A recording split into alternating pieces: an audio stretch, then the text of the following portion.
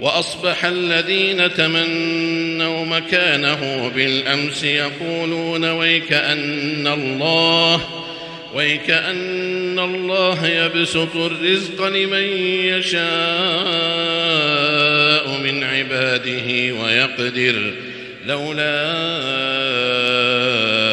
أمن الله علينا لخسف بنا. ويكأنه لا يفلح الكافرون. تلك الدار الآخرة نجعلها للذين لا يريدون علوا في الأرض ولا فسادا. والعاقبة للمتقين.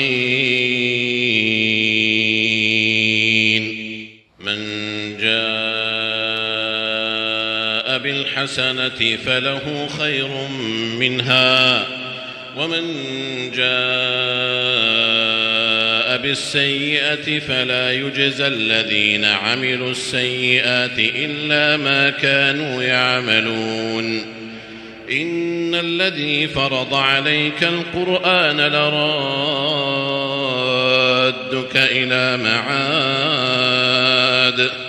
قل ربي أعلم من جاء بالهدى ومن هو في ضلال مبين وما كنت ترجو أن يلقى إليك الكتاب إلا رحمة من ربك فلا تكونن ظهيرا للكافرين ولا يصدنك عن آيات الله بعد إذ أنزلت إليك. وادع إلى ربك ولا تكونن من المشركين.